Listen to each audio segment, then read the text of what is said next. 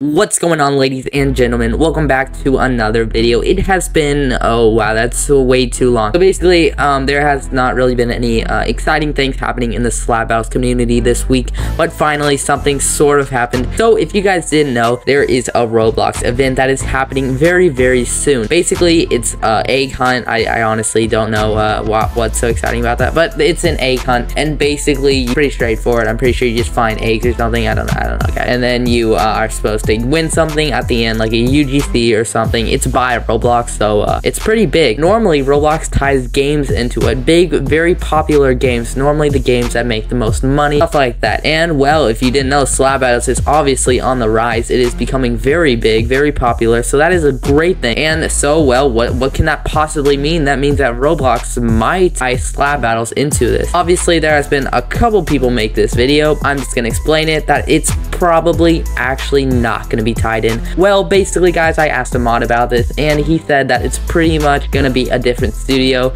that's to be tied into this egg hunt. But there's obviously a chance. It's not a high one, but there is a chance. But that's pretty much my perspective. But obviously, don't get your hopes down. It, there's still a chance. With that being said, that's pretty much the end of the video. But um, yeah, this is a kind of short video, but hopefully you guys understand now that uh, it's probably not to be a part of the egg hunt. But there's obviously a chance Let me know down below what you guys think and what you would like to see for the egg hunt if it was tied for slap battles. And with that being said, let me know down below what you guys think once again.